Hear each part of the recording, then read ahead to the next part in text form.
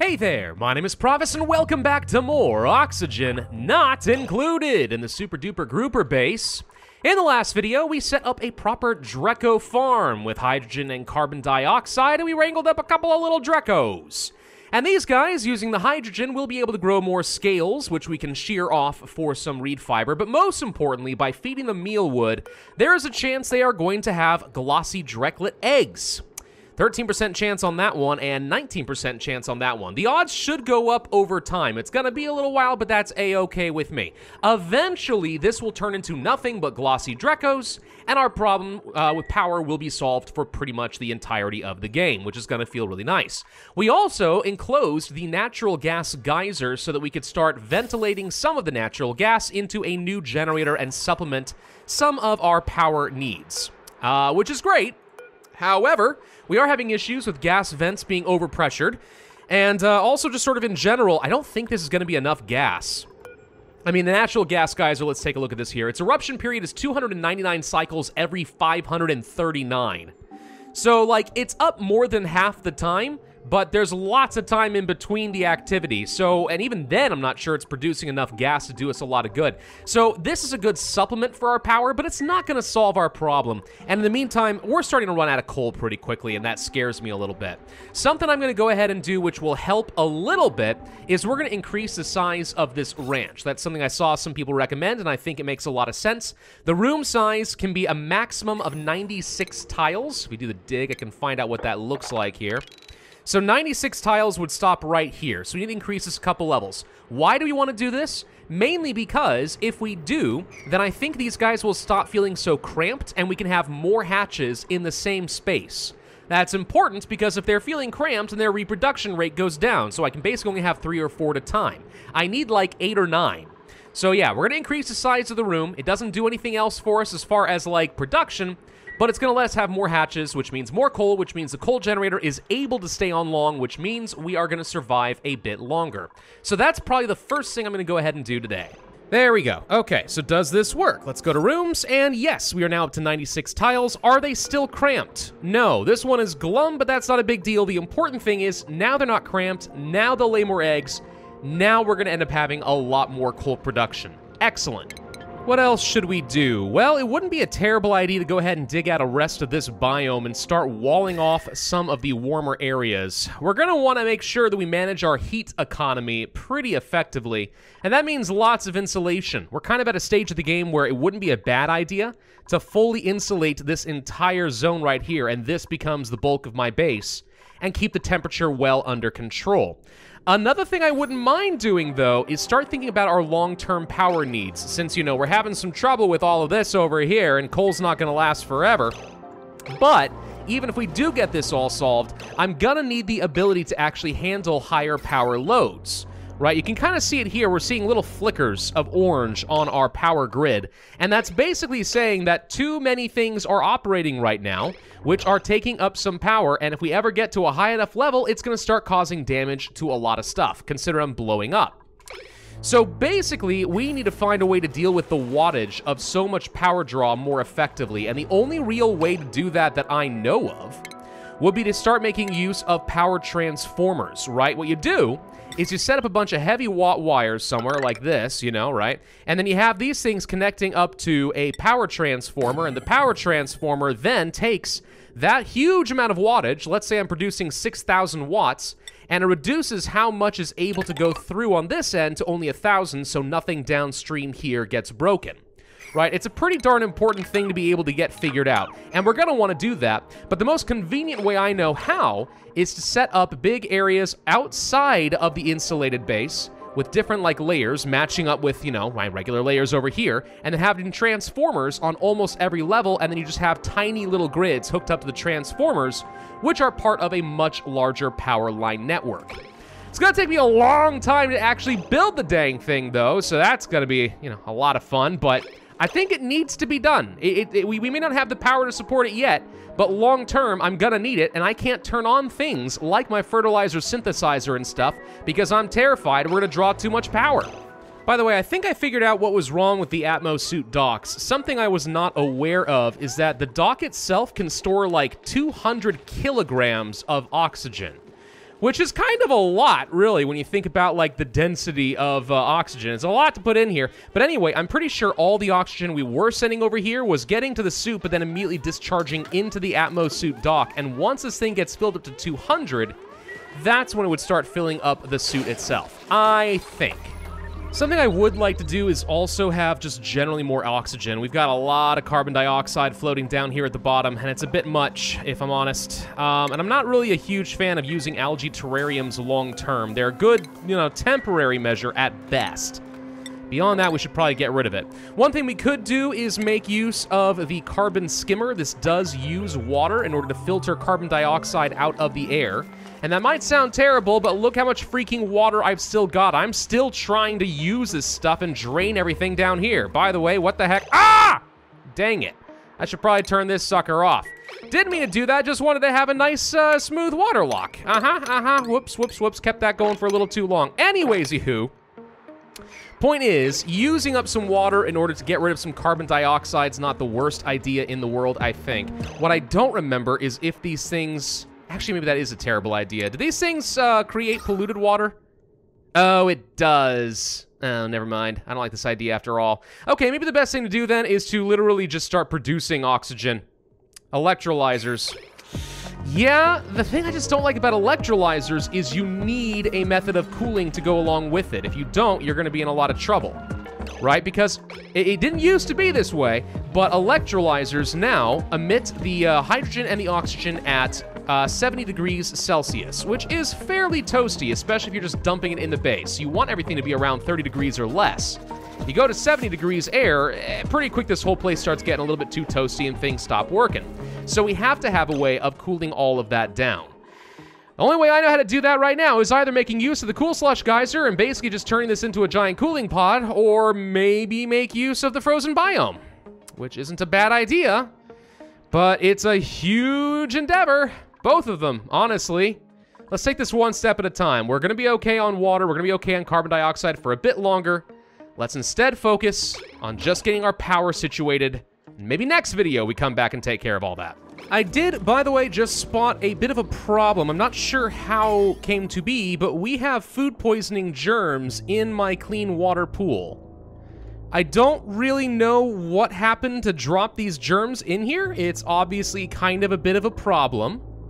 Uh, somebody somehow apparently must have had some germs on them and then just took a bath.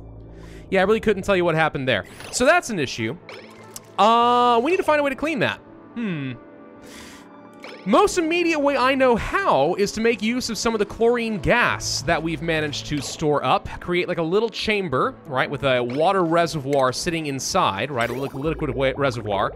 Fill this sucker with chlorine gas, let it kill all the germs, and then pump the water back in? Gosh dang it. Bicel, how'd you even do this? No, like literally, did you crawl into the water pool and then build this? At this point, this is your own dang fault. Whatever, go ahead and just take care of this. Get yourself out. Don't suffocate on your account. But gosh dang it, these dupes, dude. Sometimes it just boggles the mind how unbearably dumb they can be.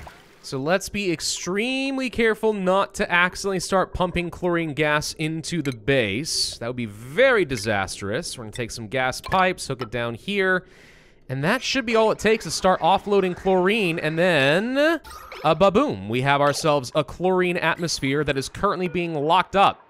And this sucker is officially locked. No one even bother going inside here unless I specifically say so. Thank you very much. All right, so we have unbreathable chlorine inside of here. Perfect.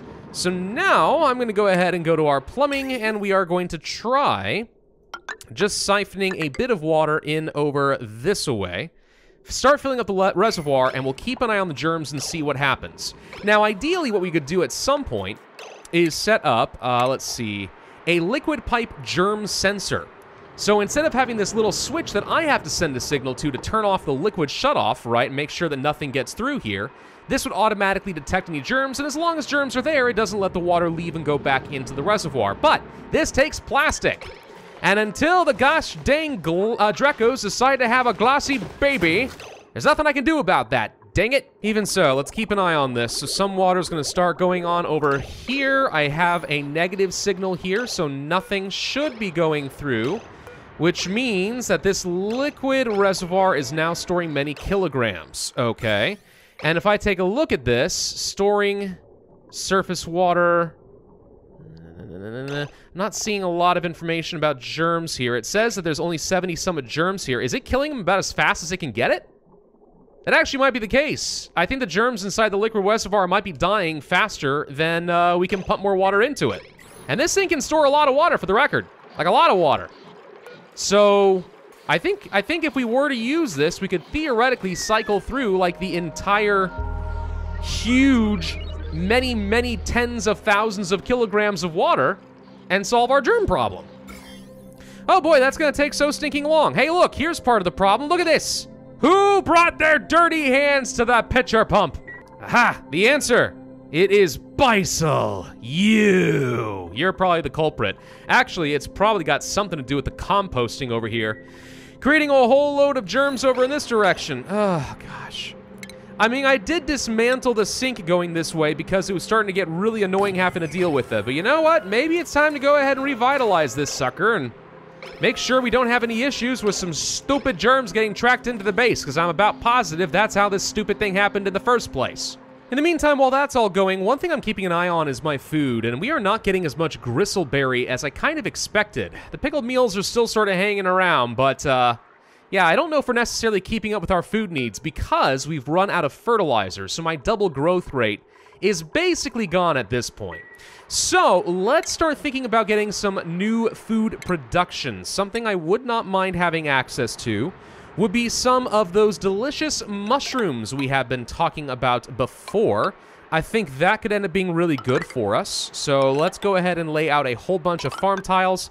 You don't need an absolute ton of space. However, something I am going to want is at least a bit of space dedicated to placing a storage bin filled with slime and water so that the germs ideally don't get out and around, but our fertilizer for mushrooms, which is slime, is easily accessible from within the farming area.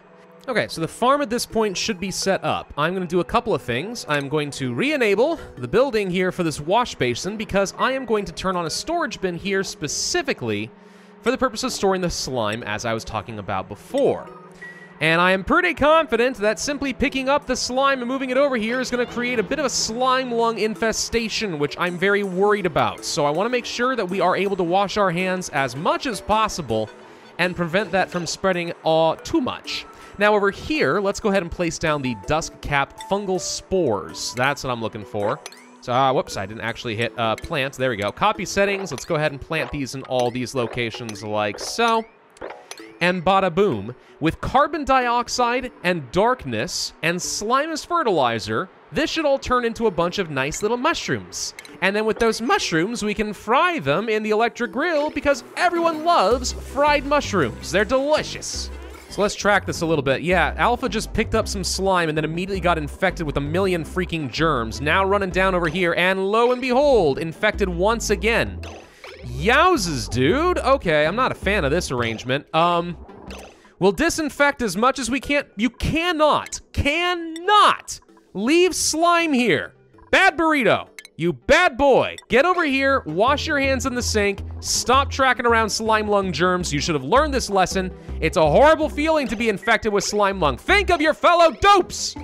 Oh my god, they're all idiots. They're all idiots. They're picking up slime, and they go over here like, I can't catch my breath! And they drop the slime, which creates more germs and polluted oxygen, and ah!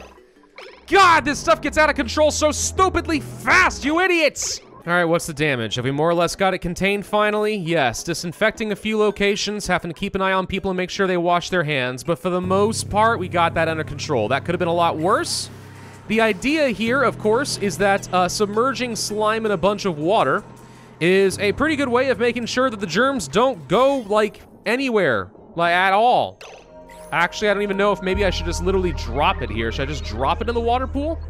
That seems to have more or less worked here. Um, yeah, actually, I'm kind of thinking that we should do that. What I might do is disable this as a building, this uh, storage bin, and make this so this is sweep only. And then we'll just drop... Uh, well, I say that. Hang on. It seems to have reinfected this entire area in a huge way. maybe. I don't know. Uh, The exact germ mechanics are a little bit weird and don't always work the way you would expect them to. So let's try disinfecting that and see if that helps. Yeah, there we go. Okay. Yeah, actually this seems to work. Uh, there's a lot of germs. We got like 13 million germs that are sitting here right now in one giant pile, but where can they go? And the answer is nowhere. Perfect. Okay. So as long as people wash their hands every time they come in here to work on the mushrooms, should end up being a-okay. Anyway, okay, so that's gonna take care of our food long term, very energy efficient. We're taking care of the germs. Now let's get back to the whole power situation. So how are we doing on coal? Not great. I do not have much left at all. Um, I found a small deposit of coal we could probably take advantage of over in this direction, and I think I will, but we're still getting nowhere near enough out of all of these hatches. Nowhere near enough. Partly because these dang eggs need to actually, you know, hatch. That would be great. Oy. Oy. We got a lot of eggs, though. We got a lot of eggs. Yeah, yeah, yeah, yeah. Um, no glossies either. Gosh, dang. Just no luck. No luck at all. Yeah, um, hmm. I'm not really totally sure what the freaking heck I'm gonna do about power, if I'm honest. If I can't find a way to get more consistent coal, and I can't find a way to get a lot more gas, because I'm dependent on a natural gas geyser that's still not gonna be active for a bit longer. Speaking of which, let's take a look at ventilation. See, wait a minute. Hold on. I've got a fair bit of gas sitting here doing absolutely nothing? That can't be right. Hold the phone. What is this? What is this smart battery set to? Oh no. Oh no, I had this backwards. All right, when power gets really low, like we're at 5%, that's when you emergency turn on the coal generator and go up to like 50%. What I had here was every time we get below 20% power, the coal generator turns on and the natural gas geysers sat here doing absolutely freaking nothing. Great! No! Fan flippin-tastic! Okay, no. We want to prioritize the natural gas generator for a while while I try to rebuild my coal stockpiles and pray that this geyser sets up soon. Yeah, see, there we go. Now the natural gas geyser's up and running. Oh gosh, dang it. No, it's fine, it's fine. Now we're starting to just pump through what little tiny bit of gas we can. It's probably not going to be enough to just remove our reliance on coal, but it sure as heck is going to help. Uh, maybe maybe something I should do is set up a gas reservoir that can pump in the natural gas. Just in case it turns out that this thing is producing a faster than I can use up the power, and therefore it gets overpressured and we're wasting precious natural gas. Maybe? Do you think? I don't freaking know. I don't freaking know, but it's proven to be a problem. I don't I'm just scared. I'm scared of whether or not we're going to be able to survive this because unless I can get a heck of a lot more power, what are we going to do? My only real options would be to move on to something like Steam, which means I need to dig like down to magma level. I don't love that idea. I don't love that idea at all. It's going to be really hard to get enough power to make all that work. So maybe we need to set up a second hatch farm. You think? Maybe a second hatch farm? Gosh dang it, I hate to think that that's what we need to do, but maybe it is. Let's go ahead and start digging this area out, by the way, and find out what we've got. Looks like it's another cool steam vent. Dang it. Would have loved to find like a hydrogen vent or maybe another natural gas vent or anything along those lines that I could have converted into power. I need more forms of power and I'm just just not getting it, man. I'm not finding anything that I think I can use. Um, well, I do have a second hatch farm just about done up over here. So we're gonna go ahead and start ranching a whole nother group and double this up. I'm up to 6.9 tons of coal. That's not a lot, but it's all I've got. This is gonna be a huge bottleneck. I thought it was gonna be like the lack of a cold biome for a long time, but now I'm starting to think it's it's not going to be the cold biome. It's going to be the inability to produce a meaningful amount of power without relying on these silly little buck-teeth alien to poop out more coal. Oh, we have our first little baby stone hatchling, though. That's got to be counting for something, right? Sort of, kind of progress. Give me a gosh dang glossy egg, for God's sake. Give me something this episode. I've really accomplished so very little. Maybe we can try setting up at least like some decorations or something? I don't know, like a hanging pot or two in the bedroom, and then maybe we can try placing a little bit of artwork or something. Boost up their morale somehow? I don't know. Dang it all, I'm I'm I'm reaching, man. I want every episode to feel like it accomplishes something significant, but I'll be honest, I feel stuck. I've basically insulated almost the entirety of the base. I got that going for me. We did manage to get some of these um, these dusk caps growing. That's working. But it's just not enough. Okay, we are getting our first round of mushroom harvests, though. That's pretty cool. So we've already got fried mushrooms turned on to an infinity job. So I say, go ahead and keep delivering them. And good timing, honestly. We've kind of gone down a fair bit in our calories. Look at this. Yeah, the bristleberries and stuff are not going nearly as far as they used to. Fertilizer's important, dude, and I'd fix that if I felt like I had the power to do it. Well, let's go ahead and at least start setting up the basics of getting our power transformers up and running. Whether I can use them or not, we know we're going to need it at some point. So, for example, what I could do is set up a power transformer right along over here. And the way this is going to simply work is we run some heavy wattage wire up this direction and hook it up into the top section like so. Then we have the wire come down here, a quick little wire bridge, and voila. And I would probably disconnect at least a chunk of this, or maybe...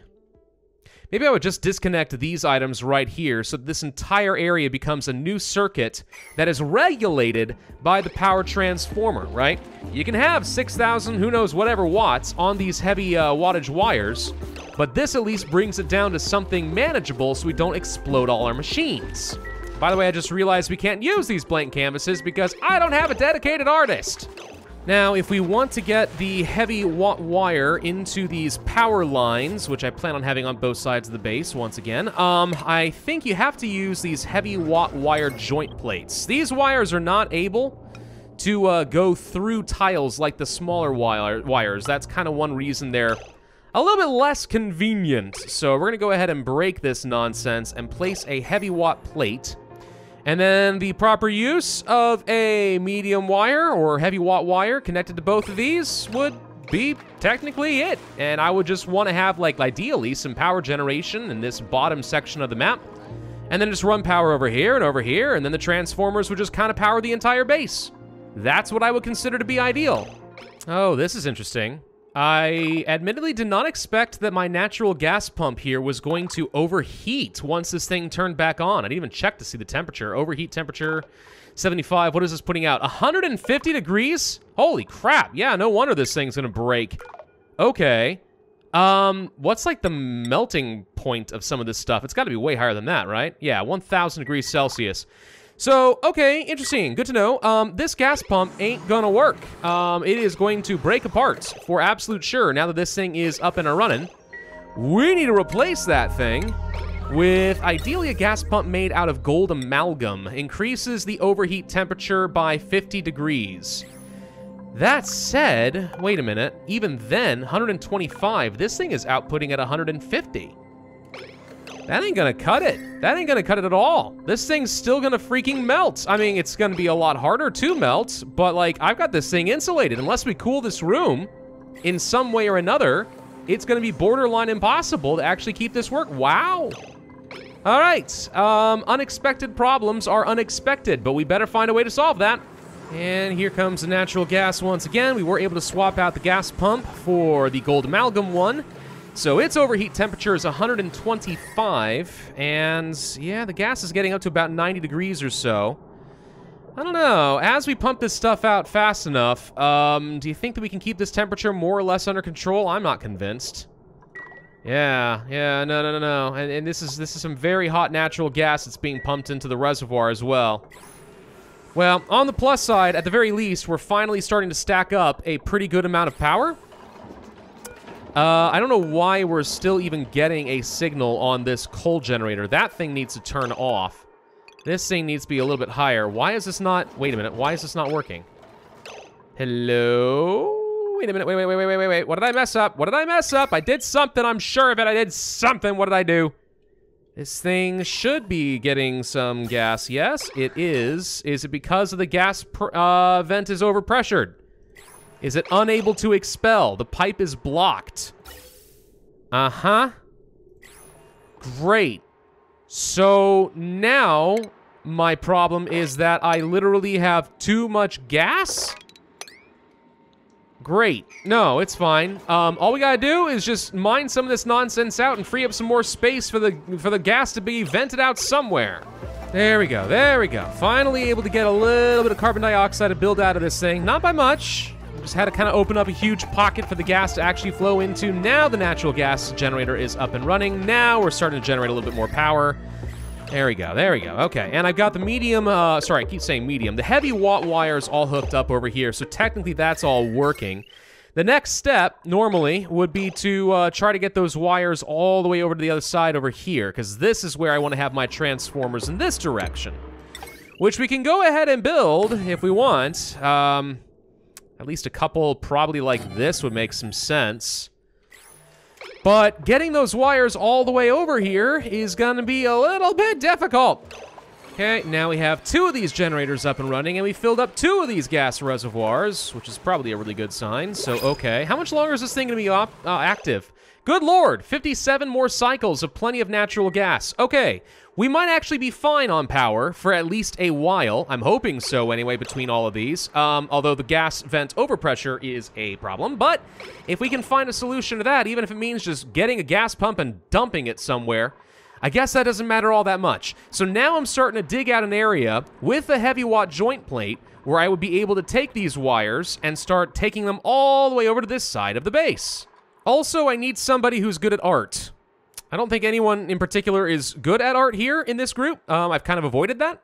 You know what, Viola? Congrats. You get to be my art fundamentals person. You get to be an art student. Go paint whatever garbage you want on these blank canvases. Anything's an improvement at this point. Good lord. All right, when I said I expected the art to be bad, like I didn't really expect it to be that bad, if you know what I mean. But okay, sure, whatever. I mean, it does still provide some level of decor. 18. It's not a lot. Uh, in contrast, this plant is worth uh, what? It's it's worth I don't actually see. Uh, 25. So this ugly briar plant is literally more beautiful than this painting. But you know what? How else are we expecting anyone to get better? This is how all aspiring artists start, probably. Okay, I managed to get the heavy watt wires all the way over here, which means now what I can do is start breaking things up into logical circuits.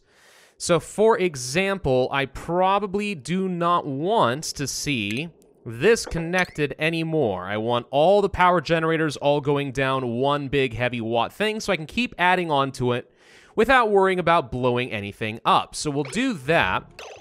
And then following that all the way over here, this is all on one circuit. This could all be under another, probably, if I wanted to. Just a tiny bit more, and there we go. Now this transformer's up and running, and everything is on a separate grid here. Cool. What have we accomplished with this? Well, with this extraordinary expensive resources, all we've managed to do is guarantee that no longer is any of our stuff gonna overload. That's it. That's all we've done. We weren't, we hadn't overloaded yet either, but that's fine. We're future proofing. We're future proofing like crazy here. And this is all going to work really well for us for pretty much the rest of the game. We'll just have a couple of trenches up this direction, up this direction with these heavy powers. And as long as we don't expand the base too much in either direction, the power transformers will be able to take care of literally everything else I can build from here on out. Let's go ahead and look at getting this fertilizer synthesizer up and a running because this is one thing I wanted to use some of my polluted water for. So we'll do that and have you come down like this. I think that's all we need, and then we can start making some fertilizer using phosphorite. So sweet. Okay, and let's actually go ahead and place down a quick little storage bin right here. It's going to hold nothing but phosphorite and maybe some fertilizer. And if we even wanted to set up an auto sweeper at some point, we could absolutely do things like that. But in the meantime, this has been a very long recording session for me to accomplish not nearly as much as I would have liked. So I think we're going to end this video here. Next video, the goal has to be to solve some of our gas problems, specifically by getting a lot more oxygen and by getting some cooling in place. We've got this polluted water just sitting here doing nothing with a dormant slush geyser. We should go ahead and start using it to either cool off some natural gas so this thing doesn't blow up, which actually so far it's holding together okay, or to start cooling off some fresh oxygen because this base is starting to warm up and I don't like that. Thank y'all for watching, hope you enjoyed. If so, I would ask to hit that like button, leave a comment, subscribe, hit the notify bell, and I will see you guys next time.